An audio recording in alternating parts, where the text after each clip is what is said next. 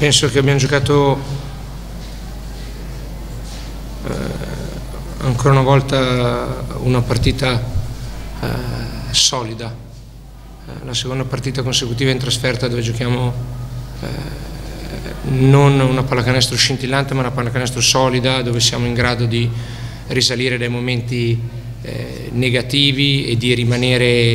eh, in partita e di giocarcela praticamente fino a all'ultimo possesso, per cui secondo me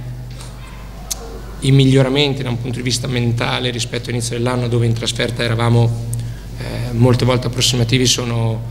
sono, evidenti, per cui non ho eh, niente da rimproverare a, alla squadra dal punto di vista della volontà, del desiderio eh, di giocare, del fatto di, di, di voler provare a vincere la partita, di rimanere lì con la testa, di sapere che bisognava soffrire ma non disunirsi e restare insieme. La squadra questa sera ha, ha fatto eh, tutte queste cose e poi eh, siamo stati puniti nel finale da, eh, dalla difesa tortonese che ha messo in campo una, una fisicità obiettivamente importante e noi non siamo riusciti mai a trovare negli ultimi 6-7 minuti dei canestri dei tiri, dei tiri agevoli, dei tiri agevoli e, e lì complice magari anche la stanchezza e comunque la, la, differente qualità fisica tra le due squadre e il fatto di giocare fuori casa ci siamo eh, un pochino fermati e, e, siamo in corsa in questa sconfitta. Ah, allora, eh,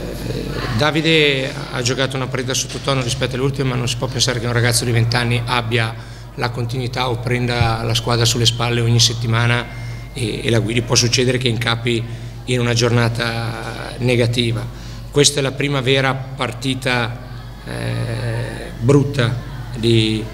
di Pinkins e, e Tinsley eh, secondo me non ha, non ha inciso, ha giocato una partita normale tenendo conto di quelle che sono le sue, le sue condizioni fisiche, ciò che lui può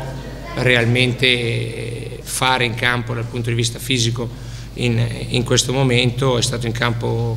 29 eh, minuti provando perlomeno lui in questo momento non è che può fare due cose, non può far giocare la squadra, attaccare e difendere, perciò si sta concentrando sul fatto di difendere, dare una mano a rimbalzo e, e provare a far giocare i, i compagni. Eh, questo è quello che secondo me è nella sua testa e quello che lui sta provando a fare, non avendo la possibilità di giocare al, al 100% bisogna decidere quella parte di energia, quella parte di cose dove metterla e lui le mette nelle cose che poi sono le sue, cioè giocare con, eh, con la squadra. È logico che a caldo uno può dire eh,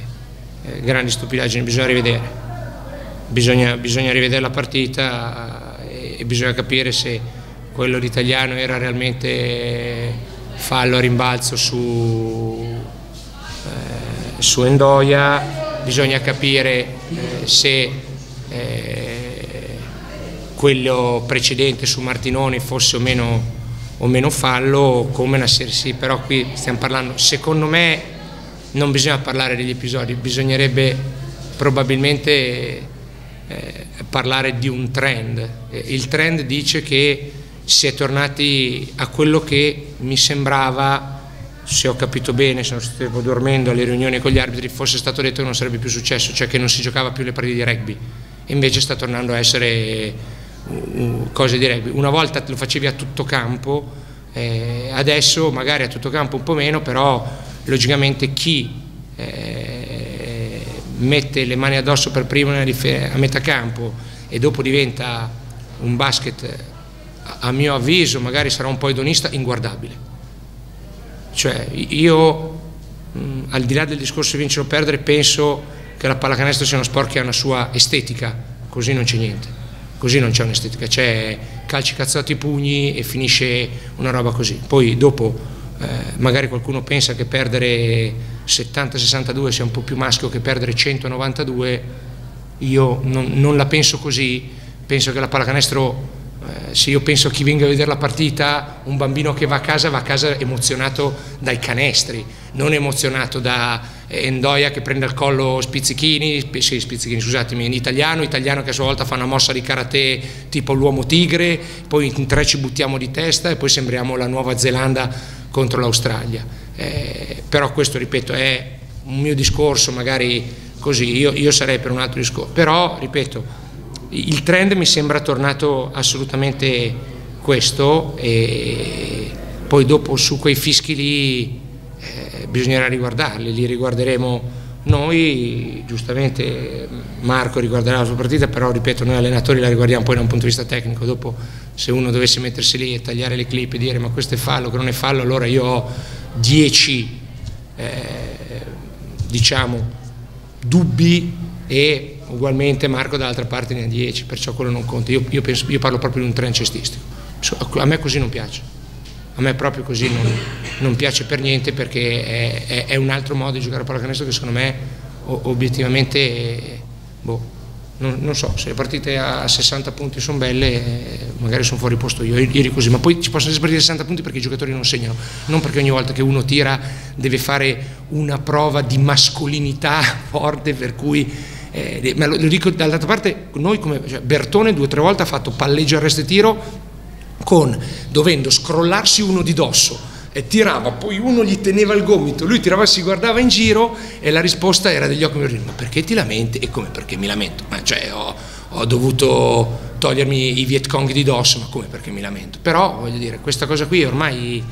è, è tornata, per un po' secondo me era stata un po' combattuta, adesso è tornata, per cui al di là più che l'episodio X e l'episodio Y,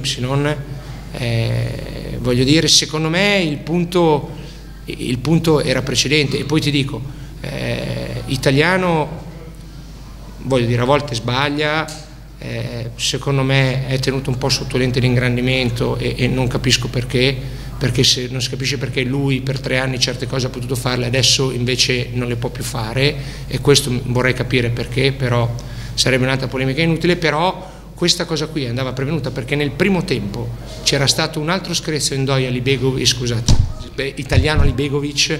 eh, dove su un minuto di prima in italiano, poi su un minuto di sospensione l'ha spinto, cioè lì bisogna intervenire, no?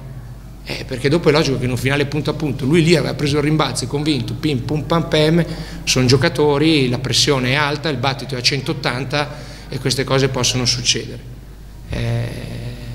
però ripeto non è il discorso del singolo episodio, è proprio un discorso di, di trend. Poi se vogliamo fare anche un discorso di personalità, eh, uno dei tre signori stasera è andato a vedere la partita, ogni volta che fischiava, fischiava, pim, fallo tu, si girava e se ne andava.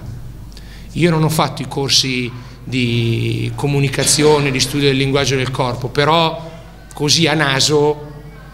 pi, pi, pi, e me ne vado, ma è così? Cioè, però ripeto, è, è, non, non c'entra l'arbitraggio, noi non abbiamo perso per, la, per l'arbitraggio stasera, assolutamente, eh, l'arbitraggio ha obiettivamente lasciato il cuore determinate cose, è bravo chi, per, chi riesce a giocare quel tipo di pallacanestro, non, non, è la nostra, ma non è la nostra neanche per come siamo strutturati, abbiamo giocatori troppo piccoli eh, che non, non, possono fisicamente fare eh, certe cose.